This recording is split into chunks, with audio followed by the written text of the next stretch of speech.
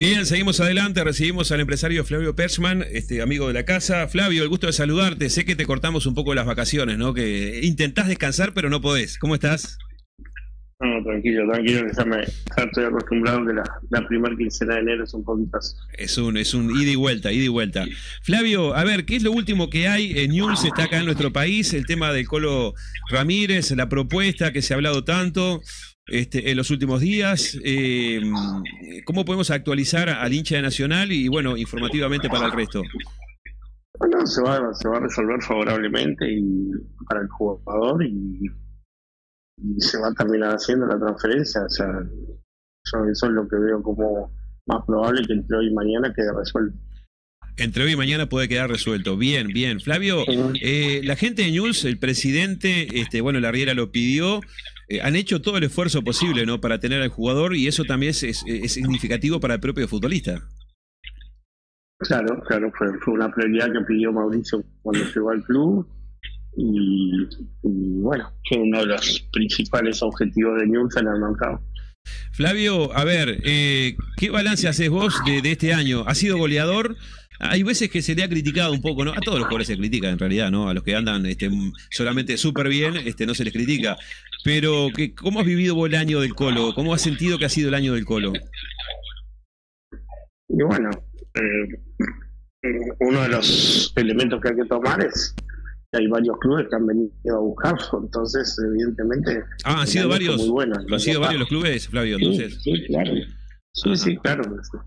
Entonces digo, eh, a veces acá entendemos otro tipo de situaciones o a veces hablamos de, que no había hecho goles en algunos partidos importantes, cuando hay que ver cuántos partidos importantes jugó Nacional en el año, ¿no? Porque eh, terminó haciéndole un gol a Boca a la bombonera para empatar e ir a penales y, un gol que abrió el clásico, el último se jugó en el Parque Central, entonces eh, el Colo no pudo jugar el, clásico de la apertura en el, en el estadio Peñarol y y había jugado medio tiempo en uno de los clásicos amistosos, en, el clásico amistoso. O sea que eh, a mí me parece, y acá tuvo mucha mala fortuna en el partido con Boca, acá en, el Parque Central, por aquella pelota que pegó en el palo y la línea. Entonces, este, yo lo de la gente, digo, o sea, lo tomo con pinzas. hay voces que se expresan mucho, hay otras que no tanto. Me parece que Creo que él terminó el año con 22 goles en total, entre, dos goles en Copa Uruguay, el gol en la Libertadores y, los y los del Campeonato Uruguayo. Terminó como goleador del, del año en el Campeonato Uruguayo. O sea, el tema individual fue muy bueno. Lo que evidentemente no, no, no, no lo acompañó el equipo, ¿no? y él es parte de un equipo, no es un juego individual. Mm. Y, y, bueno, Nacional no, no, no logró tener este, cumplir los objetivos en el año, entonces bueno, eso quizá baja, o sea, si, la misma actuación del Colo hubiera dado con un nacional campeón, yo creo que era, era, era tremendo, pero bueno, eh, el, tema que en la parte colectiva no se dio lo que lo que quería el club. Sí, es cierto, es cierto, pero así todo, eh, él logró hacer esta cantidad de goles que, que hizo en el torneo, terminó muy, pero muy bien a pesar de eso, ¿no? Que el equipo no, no tuvo la, el volumen de juego como se dice habitualmente, o el juego colectivo, por momentos que él necesita para, para hacer más. Imagínate si Nacional hubiera funcionado un poco mejor, hasta hubiera metido quizá 5 o 6 goles más. Y aparte que es un jugador este, tremendamente rematador, ¿no? O sea, mm. él, es para rematar la jugada, no es un jugador que se crea su propio juego, sino que depende un poco de, del juego del equipo. Entonces, eh, tiene un sentido y un olfato de gol muy alto, muy oportunista, pero bueno, para eso tiene que llegar la pelota al área y tiene que haber opciones. Este, pero por algo viene él, está, para cumplir 27 años y vienen a vienen a ponerle este, El, dinero que ponen por él, ¿no? Es una cifra, me parece muy importante, este, de 4 de cuatro millones por el 80%. Entonces, a un jugador de 27 años, yo creo que eso solo ya marca la, la importancia que ha tenido. Claro, sí, yo sé que lo que te voy a decir no es tu, tu parte, digamos, tu parte es negociar y todo eso, pero se ha hablado de que News no paga, si paga, no paga, hubo idas y vueltas entre declaraciones y no declaraciones. Este, pero si se está por hacer es porque se confía plenamente de que Newell's vaya a pagar. No, no, voy a opinar de un tema que no me corresponde y que no. Este, yo lo único que te puedo decir es que estoy en el fútbol, que hace, creo que hace algún, algún tiempo. Sí. Este, en el 98% de las veces siempre se, se termina cobrando. Sí, sí, y en el fútbol siempre se cobra, a la larga siempre se cobra, ponele, ¿no? Sí, entonces digo, habrá mejores pagadores, peores, no, me consta que sea News, este, hay mejores pagadores, pero, pero a la, me da la sensación de que, de que perfectamente esto podría ser así. Más allá de la propuesta que es muy importante, lo que decías vos, eh, Flavio, eh, ¿el, jugador está necesitando un cambio de aire o, si no sale eh, está bien que se quede nacional o van a, en todo caso, si no sale esta, van a ir a otra de las propuestas que tengan? No, el jugador siempre, siempre me dijo que después de esta temporada quería salir, que él quería una revancha en el exterior y bueno, después en la medida que vas cumpliendo años cada vez se hace un poco más difícil poder salir, aparte es el último año que él este, tiene contrato con Nacional, él después tiene que volver a Liverpool, tiene dos años más, dos años más de contrato con Nacional. Claro. Claro. Flavio, paso al tema de David Teráns, que también se está hablando muchísimo. Peñarol tiene eh, cifradas expectativas, te lo digo lo que he dialogado con dirigentes de Peñarol, eh, a través de, este acuerdo que han hecho con el acuerdo con el, grupo Pachuca, de traer jugadores. Y bueno, este, hay gran expectativa. Eh, es un jugador que en Brasil anduvo volando cuando estuvo y no le ha ido bien en México. Sí, sí, a México llegó con mucha expectativa, con, con muchas ganas de disfrutar lo que es una, institución modelo como es el Pachuca, pero bueno, le costó la adaptación, le costó, le, costó poder jugar. Y, y este y en estos primeros seis meses, que también es poco tiempo, no, no logró la, adaptación ideal. Eh, yo hace 15 días, previendo esto, también le pregunté si si surgía la posibilidad de Peñarol y, él me dijo que la Uruguay ahora no volvía, que era una decisión familiar y, deportiva, que él ahora no volvía. Y este, él acaba de tener familia, este, hace muy poquito Diana, la señora de familia, y que en caso de, volver a salir, él no quería quería volver a, Brasil, a un grande, a un equipo grande, que es donde él se sintió muy cómodo y ya tiene un, o sea, ya tiene no solo un respeto, ¿no? sino ya tiene un nombre ganado dentro de lo que es el, fútbol brasileño. Entonces, este, eso fue lo que me planteó y bueno, eso es lo que hablamos con la gente de Pachuca, que la verdad hasta ahora no salió bien el tema. A ver si recuperamos un poco la... Para, que, para, que, para, que Pachuca recupere lo, lo que había lo que había puesto cuando lo compró Paranaense. Flavio, se interrumpió un poquito. Flavio, disculpa que se interrumpió un poquito cuando estabas este, eh, diciendo acerca de, bueno lo que habían hablado con el jugador y, ahí entrabas en el tema con Pachuca. No, que, digo que él, él, fue claro en decirme que él para salir de Pachuca quería volver a Brasil, si no se iba a quedar en Pachuca. Este, eso fue el, planteo de él y bueno, en ese camino vamos, porque él ya sabe que en Brasil tiene un nombre, tiene un respeto tiene un lugar ganado y tal, me planteó de, querer jugar en algún equipo grande de Brasil. Eh, Flavio, y, me imagino que tenés alguna propuesta o, por lo menos intención de, equipos que, bueno, como decís vos, en Brasil anduvo bárbaro y se ganó un nombre, fue ídolo allí en Paranaense en su momento, ¿no? Claro, claro. Sí, sí, sí, por supuesto que apenas salió la, novedad de que podía llegar a, a salir de Pachuca, inmediatamente empezaron a, aparecer los sondeos y las consultas, ¿no? Así que bueno, este, tendremos paciencia y esperemos a ver cómo se ilucida y bueno, si no, seguirán Pachuca. Y si no siguen Pachuca, entonces vos considerás que crees, de acuerdo a lo que hablaste con Pachuca y con el jugador, que a Uruguay, a Peñarol no llega.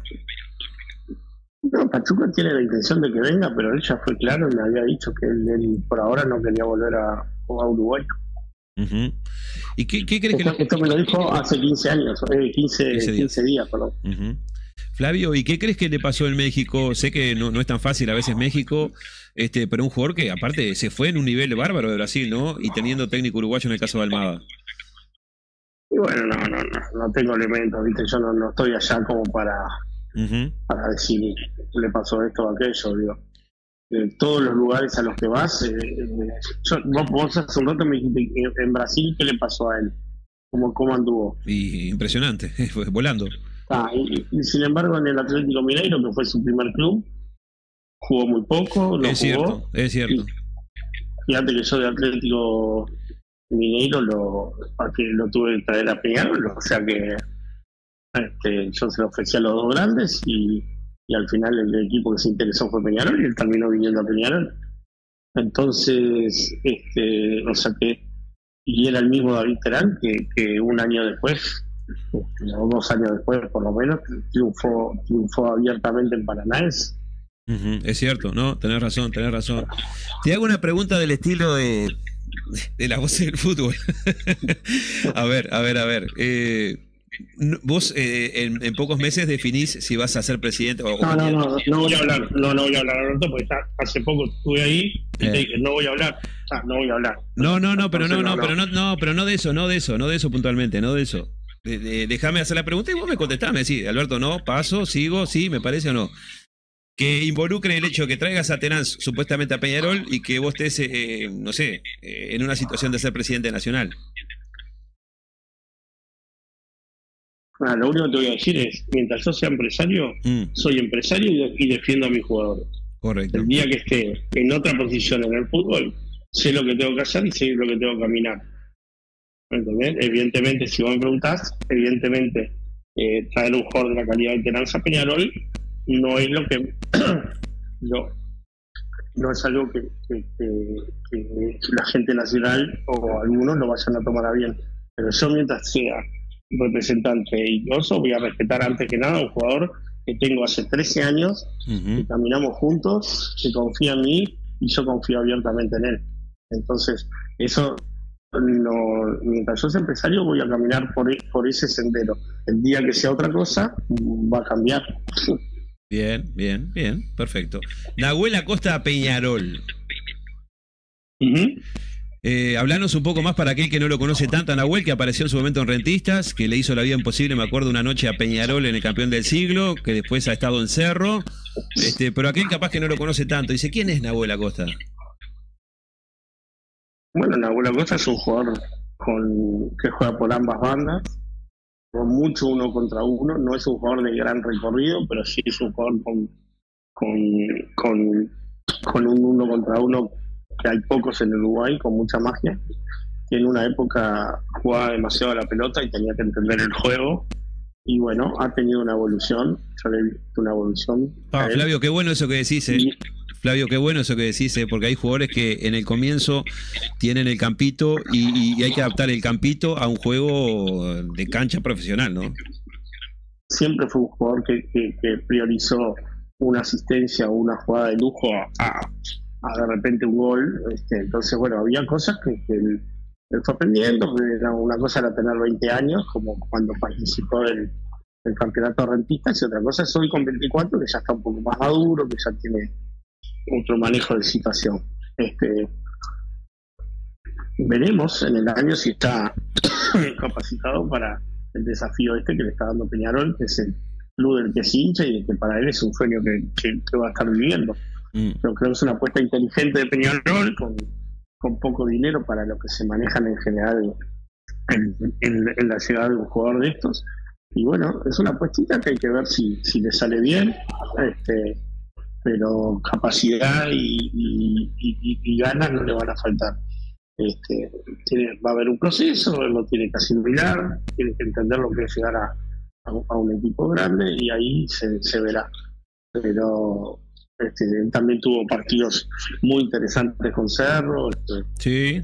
justo contra, así como había tenido con Rentistas contra Peñarol, también tuvo con Cerro contra Nacional en el Trócoli, es cierto. en la segunda fecha, este, que, lo terminó este, enloqueciendo a cambio y se dio más, tuvo que entrar al medio ese día, o sea que, y bueno, ha tenido, ha tenido situaciones, eh, es un jugador un poco inconstante, pero pero todavía joven y todavía puede agarrar mucha regularidad. Es cierto, es cierto, es cierto. Lo que yo he visto siempre es que tiene, este, va al frente, ¿no? Va al frente y tiene capacidad y tiene buen físico también, ¿no? Tiene un físico interesante que puede ser importante para, para Peñarol. ¿Qué estás viendo desde lejos lo que pasa con, con Ronald Araujo y con esto de que el Bayern supuestamente pone una plata impresionante, que esto que el otro? Pero la verdad que, Flavio, en esa, en esa no sé, ¿viste cómo se dice el empresario que la pegó con un pase? Eh, la verdad que la pegaste eh, en lo que hiciste, el desarrollo que tuvo el futbolista, lo que ha hecho ya con la selección, es pilar fundamental. ¿Qué crees que puede pasar? ¿Se queda en Barcelona? Barcelona es Dios, ¿no? Lo tiene como este, una figura para tener 10 años más ahí. Pero ¿cómo, cómo has visto todo esto? Es, un jugador extraordinario, eh, del cual es lógico que en la medida que siga avanzando, el fíjate que tiene recién 24 años, este, vaya a haber interés por él. Él está muy cómodo en, Barcelona. Yo creo que en este en este mercado no creo que salga. este, eh, y, y bueno, sí, son números que se manejan de acuerdo a lo que ha sido el rendimiento de él, ¿no? Que ha ido siempre creciendo, ¿no? Este, salvo alguna lesioncita chica que lo ha, lo ha sacado en algunas de mala fortuna. Este, después en el resto ha sido un jugador extraordinario, que con 24 años ya es el segundo o tercer capitán del Barça, que ya, ya ha llevado la cinta de capitán en la cancha. Este, entonces, nada de esto de lo que de lo que pasa cerca de él llama la atención. Sí tenemos que pensar que si algún día deja el Barça, son muy pocos los equipos que por los que él va a optar, ¿no? Porque evidentemente son muy pocos los equipos en el mundo que están a la par de, del Barça. Y sí, y sí, es muy difícil, es muy difícil, pero la verdad que este, en estos partidos con la selección ha mostrado toda esa categoría, ese nivel, y yo creo que hoy por hoy está entre los tres mejores zagueros del mundo, pienso yo, o cuatro, o cinco, en ese rubro está. Sí, bien. Está en un top five seguro, sí, sí. Flavio, ¿qué otro negocio estás por hacer o, intención de, salida o llegada? Así que estás en esto. No, no, no. No, no, no. Este, pensaba terminar con lo del colo y bueno, apareció todo el tema de Terars. Este, pero yo una vez que terminara lo de Nahuel Costa y lo de lo del colo pensé que ya estaba tranquilo, pero bueno, ahora apareció el tema de Terars. Veremos si, si, si fructifica o, bueno, o se queda en Pachuca. Flavio, el gusto de siempre, te mando un abrazo y bueno, eh, que puedas descansar, eh, es un momento de, trabajo, pero también hay que descansar un poco. Dale, arriba, abrazo. Saludos para todos. Que pases bien, allí estaba el empresario Flavio Persman.